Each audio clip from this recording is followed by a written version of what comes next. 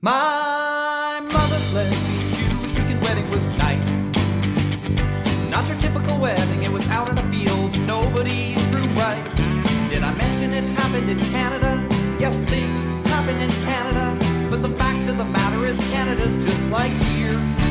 Cause we all watch TV shows from America, we all know what Obama is up to, though.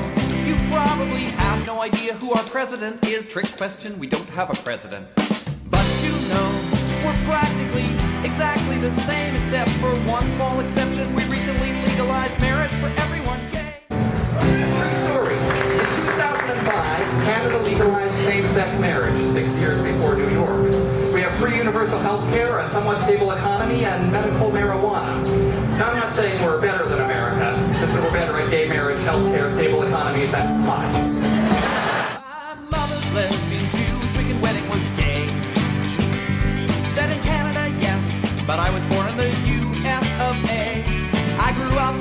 In Nebraska. Yes, people grow up in Nebraska, but that's not what you think in Nebraska when you're 13. Yeah, it's a it's a true story about my mom and me, and uh, and stories about our family. My mom, when I was 13, she came out to me. She'd uh, she'd just been through a messy divorce with my dad, and uh, and she moved out to Ottawa, where she met a Wiccan woman named Jane, and uh, she'd fallen in love.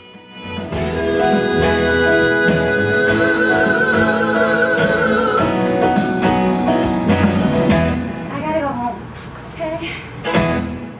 So, uh, so the story tells uh, her discovering that she's a lesbian, rediscovering her Jewish faith, and coming out to her mother, her ex-husband, and me, her teenage son. Yeah. Dad's got a girlfriend. I don't see why you can't. All of the stories in the show are based on true stories about our family. Like when David's moms first met me, uh, David took us to a restaurant that had just opened up. It was um, interesting. There was this new place opening up near school. Part of a chain, maybe, but I wasn't really sure. It was the first one in Canada. It seemed like an okay family type place. It had this nice friendly owl on the logo. Big welcoming eyes.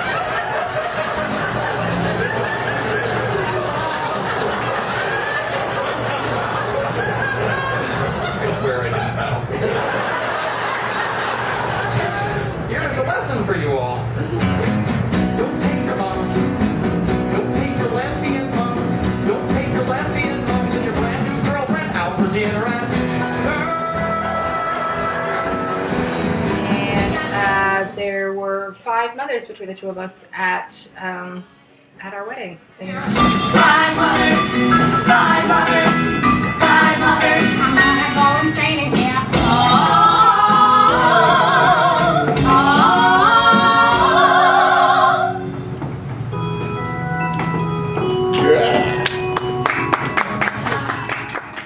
Even though it's a personal story about my family, it's also set against the backdrop of the entire same-sex marriage movement.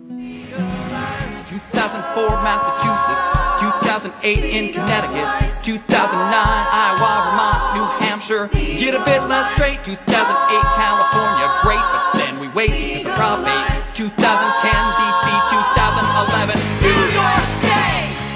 actually a really universal story, uh, despite lesbian, Jewish, Wiccan. It's it's really just a story about people falling in love. It's about having divorced parents. It's about uh, your mom or your dad meeting somebody new and getting married. It's about families growing in ways that are, are new in the 21st century. I'm uh, I'm giving away the ending, but there's a wedding. Uh, my mom's wedding was one of the most beautiful weddings that I'd ever been to. Uh, from the Jewish tradition, they stood under a chuppah and they smashed a glass, and then from the Wiccan tradition, uh, they bound their hands, they mingled their blood, and they jumped over a broom. You and me, and that's all I want, and that's all I want, and that's all I need. I think one of the most surprising things was when we started at the Fringe, and uh, we could not believe the response from from people. We were just telling our family story, and we would have uh, young lesbian couples come up to us in tears afterwards and say, "Thank you for telling a positive coming out story."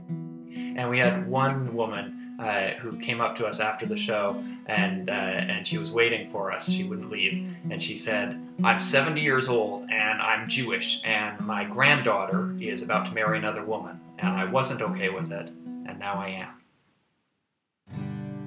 Here's to leaving your past behind. Here's to finding a brand new you. Here's to finally learning something that you never knew.